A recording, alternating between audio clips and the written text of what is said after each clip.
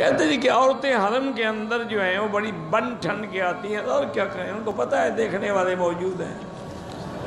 تم آنکھیں نیچی کر دو تو خود ہی بن سمر کے نہیں آئیں گی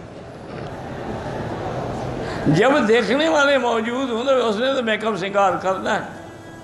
ہمارے علاقے میں مجھے یاد ہے، وہ اس ٹورنگ ٹاکیز ہوتی تھی، چلتی پھرتی فلمیں۔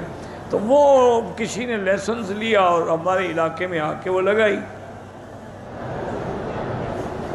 مجھے ان دوستوں نے بتایا، میں نے ڈپٹی کمشنر سے جا کے بات کی کہ یہ ہمارا علاقہ ہے، یہاں تو ہم نے کبھی شادی میں نقارے بھی نہیں بجنے دیے۔ آپ نے فلم لگوا دی۔ انہوں نے کہا، میں کیا کروں؟ ان کے پاس لیسنس ہے۔ میں تو نہیں روک سکتا، میں کیا کروں؟ میں نے کہا اچھا جی ٹھیک۔ رات کو میں نے سارے مسجدوں والے تھے، امام کٹھے کیے اور سب دوستوں کے۔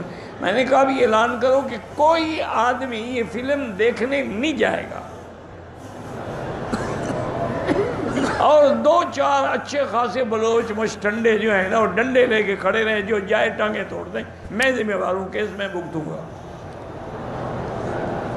پھر بلوچ تو بڑے، اس مسئلے میں بڑے بہادر ہوتے ہیں، بال بال کٹائی میں۔ اور دو آدمیوں کو پھینٹی لگی، پھر کوئی گیا ہی نہیں دوسرے دن۔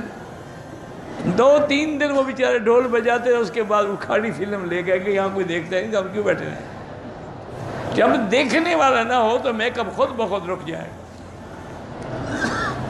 تم بھی تو طواف میں ان پہ نظر رکھتے ہو نا، کعبے پہ نظر نہیں ہوتی، عورت پہ نظر ہوتی ایسے طواف سے